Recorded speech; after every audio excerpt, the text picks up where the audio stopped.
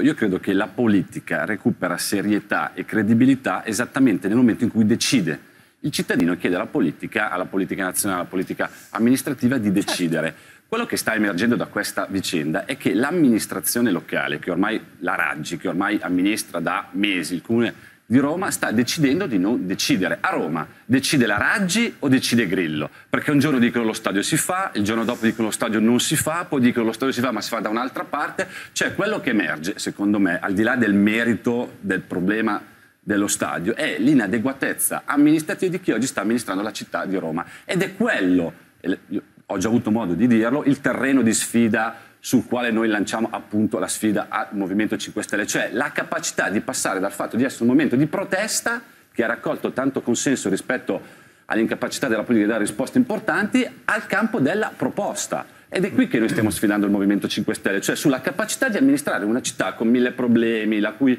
eredità che è stata lasciata alla Raggi è sicuramente una eredità problematica, ma che dopo tanti mesi di amministrazione non si vede un briciolo di capacità amministrativa su mezzo problema. Questo è l'esempio ed è la parafrasi mio modo di vedere, dell'incapacità del Movimento 5 Stelle di risolvere i problemi. Dopodiché, secondo me, c'è questo grande enigma eh, rispetto al fatto che a Roma governa la Raggi, che è stata democraticamente eletta con oltre il 60% dei voti dei romani, o il babysitter eh, Grillo che sistematicamente deve intervenire per tamponare eh, un'amministrazione che sta dimostrando una palese incapacità. Eh, dopodiché abbiamo il blog, che, gli attivisti che sono contrari, eh, il Consiglio Comunale che ha votato una delibera ma che oggi una parte di quel Consiglio Comunale rinnega. Quindi sta emergendo in maniera lampante la fotografia di quello che è il Movimento 5 Stelle, un movimento che ha avuto dei meriti, dei, meriti storici, raccogliendo tanto consenso, ma quando deve tramutare quel consenso in una capacità amministrativa, e vale per Roma, ma per tante altre città,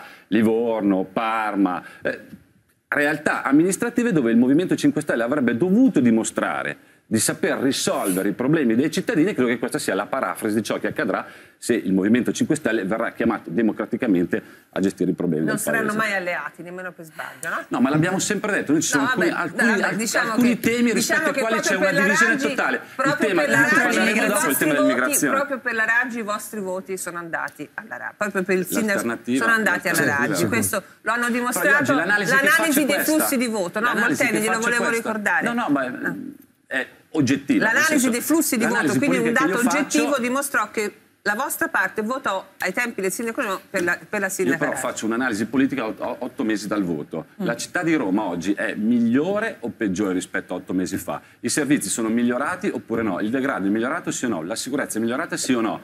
Eh, la pulizia di Roma è migliorata sì o no? La risposta che mi sento dare da chi vive a Roma mi pare mm. che vada nella direzione ben opposta rispetto a una buona però, amministrazione.